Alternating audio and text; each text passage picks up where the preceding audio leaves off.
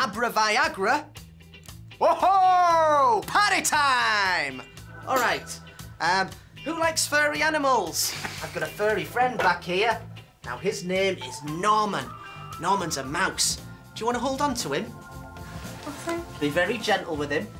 Now, I've also got one of those things that mice go round and round in, you know, like a... A wheel? No. A blender.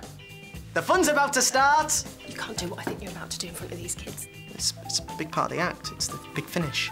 Look, no, no one tells Debbie McGee what leotards to wear, all right? It's just a map. They're three Okay, quid. okay. They're just three quid. What That's it. They're cheap. OK, Thomas, I'll take him back. Thank you very much. Now, I need somebody to pick a number between one and three. Two. Two, OK? One. Two, that's very generous. Giving him a little bit of a hand.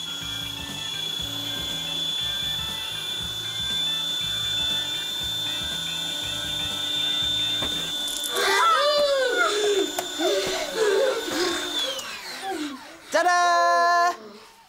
It's all right. We're going to bring Norman back to life. Look, empty pan. Pour Norman inside.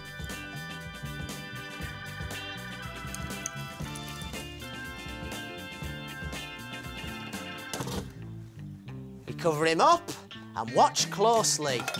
Abracadabra.